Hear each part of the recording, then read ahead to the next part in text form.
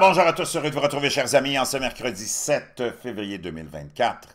14h40, heure du Québec, heureux de vous retrouver. Merci à ceux qui sont abonnés, ceux qui ne sont pas faits là maintenant. Merci à tous ceux qui vérifient leur abonnement aussi. Un grand, grand, ben, je ne sais pas ce qui arrive là, une espèce de, de grand mouvement de désabonnement. Est-ce que c'est l'origine de ça, c'est YouTube, les algorithmes, je ne sais pas, mais merci de vérifier euh, tout ça. Mes abonnés m'ont confirmé que c'était ça qui se passait. Pendant ce temps-là, le monde médiatique est en meltdown, en complète effondrement, en crise existentielle. Tucker Carlson, l'animateur probablement le plus populaire, euh, commentateur le plus populaire du monde anglophone au monde, et aussi chez les francophones qui comprennent l'anglais, qui sont euh, bilingues. Tucker Carlson a fait sa marque au fil des décennies, s'est promené de la gauche pas vraiment vers la droite, mais plus conservateur, condamne les deux partis, autant les républicains que les démocrates, les considèrent tous les deux comme étant une source de corruption et de deep state. Donc, c'est détaché de tout ça. Même sur Fox News, quand il était là, c'était étonnant qu'on le laisse, puisqu'il y avait l'air plus d'un gars qui faisait un podcast, qui annonçait des choses, qui parlait de choses dont les médias traditionnels ne parlent pas, mais on s'en est débarrassé. Il avait même dit que, il n'y a pas si longtemps avant sa démission, que c'est la CIA qui avait assassiné John F. Kennedy. Tu sais, c'est comme, wow! Puis il parlait beaucoup d'avenir, il parlait beaucoup de sujets vraiment controversés dans le sens du narratif principal des médias corporatifs.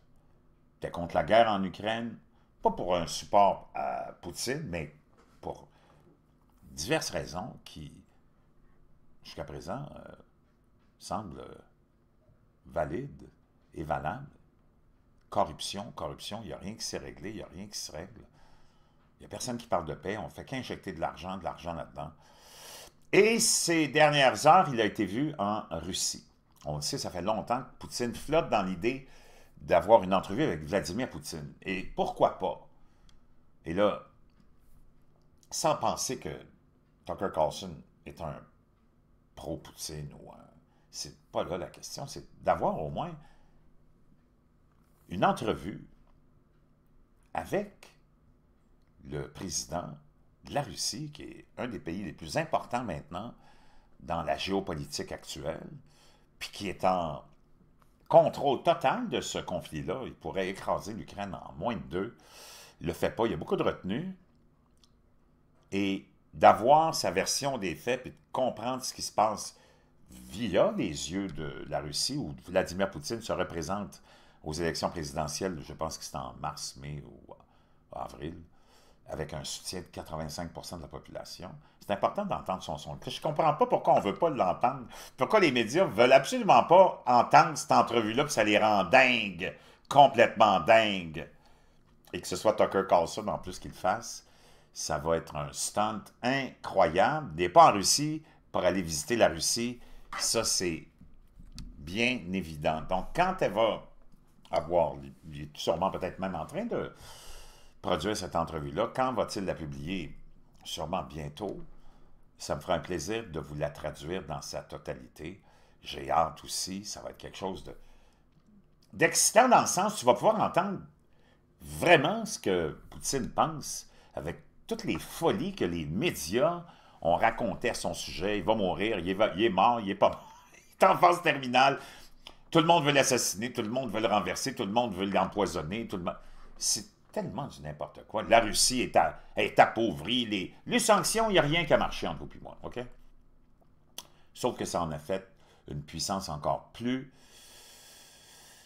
plus affirmative dans la géopolitique. Alors, tout ce qu'on a pensé faire pour affaiblir la Russie, ça n'a pas marché. La Russie n'est pas affaiblie économiquement. Poutine n'est pas affaibli politiquement. C'est nous qui avons tout perdu. C'est nous qui sommes vraiment gros gens comme devant. Parce qu'on a des, il faut le dire, des représentants politiques, des politiciens qui sont bons à rien. Tous bons à rien. Il n'y a personne qui parle de paix dans tout ça. C'est complètement hallucinant. Donc, Tucker Carlson en Russie pour une entrevue, c'est sûr, avec Vladimir Poutine. On pourra avoir vraiment sa version de tout ce qui se passe en ce moment, puis ça va être très intéressant. Puis c'est essentiel. On va l'écouter.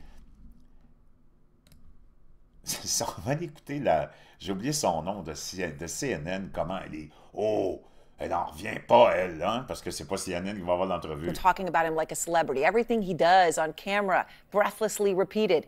No. Donc, il, va, il en parle comme si c'était une célébrité. Il est toujours à bout de souffle quand il parle de, de Poutine. C'est complètement absurde. It is unclear if an interview between Putin and Carlson will take place, but if it does, it gives Putin a chance to sit.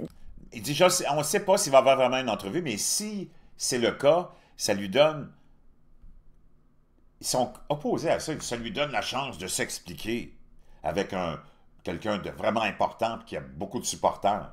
Non, mais on veut l'entendre. Pourquoi le censurer? On a besoin de comprendre ce qui se passe. Down with a big supporter. Also, complètement, complètement gaga. Ces gens-là sont dangereux. Donc, quand ça va avoir lieu, je vais vous traduire ça avec plaisir.